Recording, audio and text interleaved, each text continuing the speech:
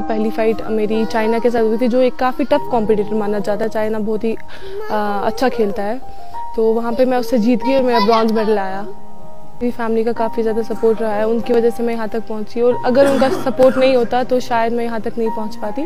Total में 64 countries आई थी। बहुत बड़ा कंपटीशन था और काफ़ी प्राउड फील हो रहा था कि मैं वहाँ तक पहुँच गई, वहाँ तक पहुँचना। कश्मीर की लड़की के लिए बहुत ही फ़ख्र की बात है।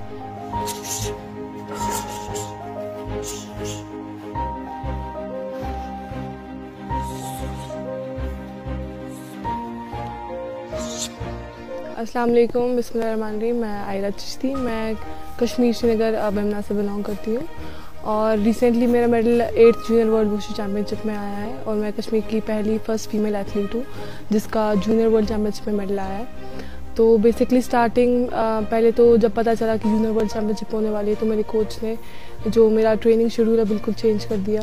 सुबह मॉर्निंग में फो मतलब चार घंटे की प्रैक्टिस और शाम को भी चार घंटे की प्रैक्टिस रही हमारी। फिर उसके बाद हमारी ट्रायल होनी थी मेरठ में वर्ल्ड चैम्पियनशिप के लिए, जहाँ पे मैंने तीन फाइट खेली तीन अलग अलग स्टेट की लड़कियों के साथ, जो बेस्ट थी। तो उनमें 48 केजी कैटेगरी में मैं फ़र्स्ट आई तो फिर मेरी सिलेक्शन जूनियर वर्ल्ड चैम्पियनशिप के लिए हुई। फिर हमारा दो हफ़्ते का कैंप लगना था मीरठ में ट्रेनिंग कैंप तो हम लोग वहाँ पे दो हफ़्ते ट्रेनिंग करते रहे। फिर उसके बाद हम फ़र्स्ट को जूनियर वर्ल्ड चैम्पियनशिप के लिए निकल गए थे पूरी इंडिया टीम तो जहाँ पे फिर मेरा मेरी फैमिली का काफ़ी ज़्यादा सपोर्ट रहा है। उनकी वजह से मैं यहाँ तक पहुँची और अगर उनका सपोर्ट नहीं होता तो शायद मैं यहाँ तक नहीं पहुँच पाती। आ, और अगर आ, रही बात कोच की कोच ने काफ़ी ज़्यादा सपोर्ट किया मेरा।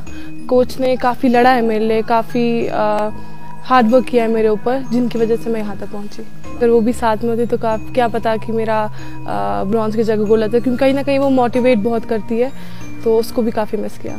आ, मेरे कोच ने काफ़ी ज़्यादा हार्डवर्क किया मेरे ऊपर। हमारी हमारा जो ट्रेनिंग शेड्यूल है जैसे कि मैंने कहा कि बिल्कुल बदल गया था जब पता चला कि जूनियर वर्ल्ड चैम्पियनशिप होने वाली है तो हमारा शेड्यूल दो टाइम हो गया प्रैक्टिस का मॉर्निंग में चार घंटे और शाम को चार घंटे। हाँ स्कूल में भी प्रॉब्लम आती थी कि क्योंकि सुबह स्कूल भी जाना पड़ता था तो हम काफ़ी अर्ली मॉर्निंग प्रैक्टिस करते थे। आ, जी अगर स्पोर्ट्स में रहना है तो हमें कहीं ना कहीं पढ़ाई को भी इक्वली बैलेंस करना है क्योंकि अगर आप चाहते हो कि आप स्पोर्ट्स में आगे आपको बढ़ना है कहीं ना पढ़ाई भी उतनी ही इम्पोर्टेंट है जितना की स्पोर्ट्स तो इसको बैलेंस किया हमने तो ऐसे कोई प्रॉब्लम नहीं आई।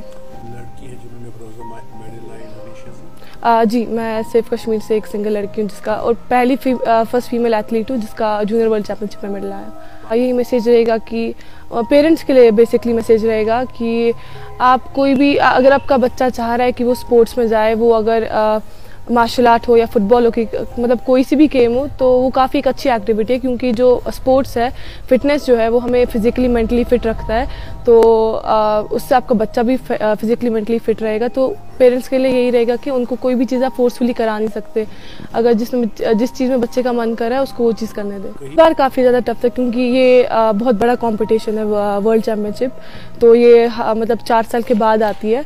तो ये जब इसमें मेडल आया तो एज़ कंपेयर टू अदर जब मैंने खेले थे इंटरनेशनल इस वाले में ज़्यादा खुशी हुई क्योंकि यहाँ तक पहुँचना बहुत बड़ी बात है।